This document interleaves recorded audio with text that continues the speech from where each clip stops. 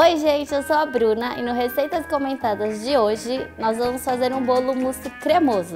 Vamos começar pela massa. No liquidificador você vai bater o leite, o óleo, os ovos e o açúcar.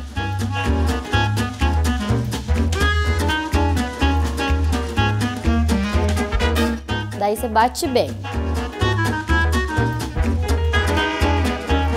Daí você vai colocar essa mistura numa tigela e vai peneirar a farinha e o cacau.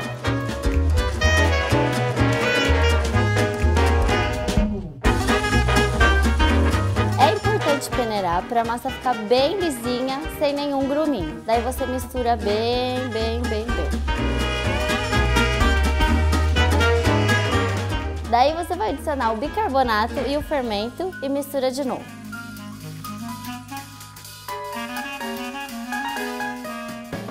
Forma untada e polvilhada com cacau, você vai colocar a massa e vai levar ao forno pré-aquecido a 180 graus por 40 minutos.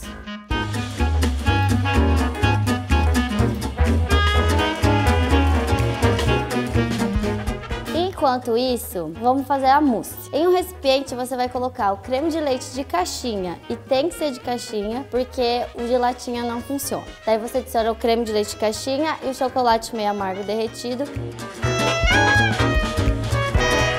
Daí você vai bater bem, bastante. Parece que não vai dar muito certo, mas no fim vai ter uma consistência firme. bolo já frio, você vai cortar ele ao meio e vai colocar a parte de baixo em uma assadeira. Pode ser a mesma que você já usou para assar. Daí você vai espalhar a mousse, coloca toda ela, deixa ela bem lisinha em cima.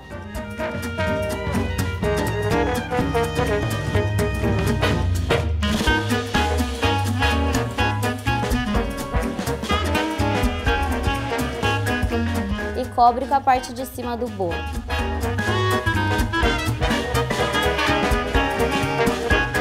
Leva para a geladeira por aproximadamente 40 minutos só para essa mousse dar uma firmada. E para finalizar, você vai cobrir o bolo com uma ganache de chocolate, que fica lindo e muito saboroso.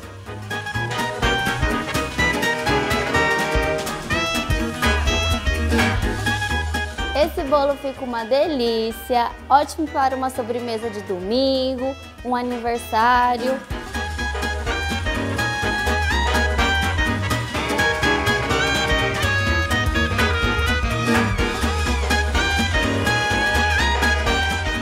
Espero que vocês tenham gostado, comentem aqui, digam o que acharam. Um beijo, tchau!